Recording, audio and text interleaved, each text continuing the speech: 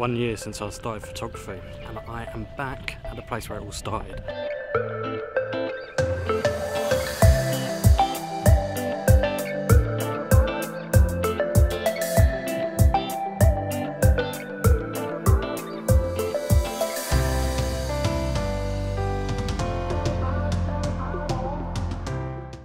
Knole Park again. Came here about a year ago when I had my first camera, which was a Canon 100D, and my kit lenses. So now I'm filming on a Canon 80D on a lovely Sigma wide angle. Got my 70 to 200 f2.8 uh, Tamron lens, and hopefully going to get some better results than I did a year ago.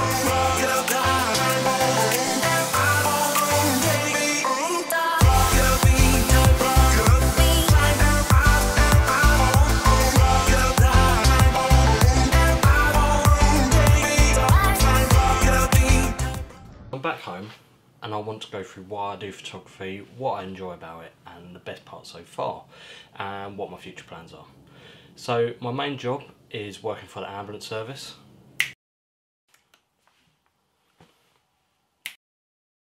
As you can imagine with that kind of job there are stresses and you have to deal with situations that normal people don't see in their day-to-day -day life. So I do photography as it gives me time to enjoy people, landscapes, animals and so on, whilst giving me time to relax and chill out. It gives me the opportunity to get out of the house and the area I live in and travel to areas I wouldn't normally travel to and it's definitely making me feel happier than I would sat at home doing nothing. I love the freedom you have with photography as you can go anywhere you want. It doesn't just give you a photograph, it gives you a memory that you can share with other people.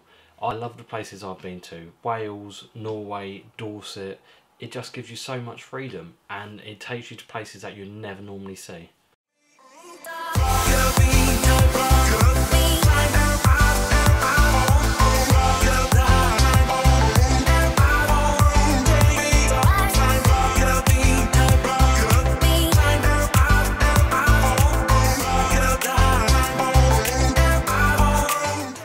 Considering I've only been doing this year, I feel I, myself, have improved massively with my photography.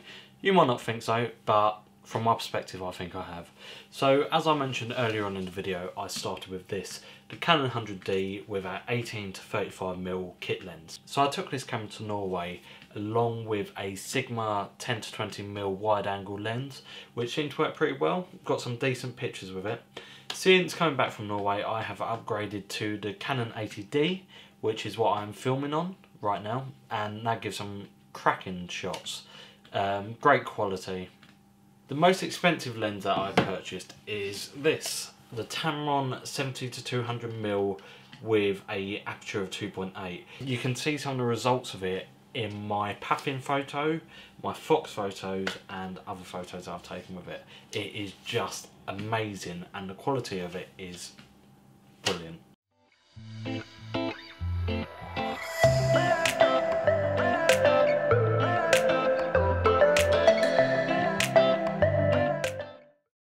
Plans for the future. Um, they are to continue improving my photography skills, my editing skills, and to put more effort into learning how to do more videography and do more vlogs, more travelling. I am already planning a trip to Norway in January, so visiting the Lofoten Islands again with Kira, Oz and Pete so all three guys are into photography, so it should be great fun. Also then heading to Iceland, hopefully in about March time. So, hopefully you've enjoyed this video and learning why I do photography. And just keep watching out for future vlogs and videos. Thank you very much.